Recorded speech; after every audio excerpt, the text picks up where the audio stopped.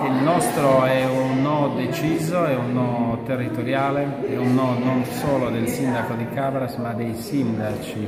di tutto il territorio con Termini, eh, Oristano città e i comuni limitrofi, a un tentativo, credo incauto, di diciamo, non eh, garantire quello che era un accordo secondo noi molto ben eh, assicurato, cioè quello di avere un giorno qui l'intera esposizione di Montepremi. Eh, non credo che ci siano sistemi o metodi alternativi alla valorizzazione di questo complesso scultoreo se non quello di esibirlo unito tutto nella nuova ala museale di Cavres che sarà costruita apposta per loro.